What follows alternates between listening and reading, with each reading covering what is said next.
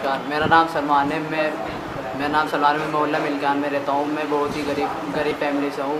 मेरे पास बिल्कुल हमारी फैमिली के पास बिल्कुल भी इतने पैसे नहीं कि ताकि मैं कंप्यूटर थिएटर पर जा सकूँ और कंप्यूटर सीख सकूँ। लेकिन जब से ये ऑफ़र श्री नरेंद्र मोदी ने निकाले।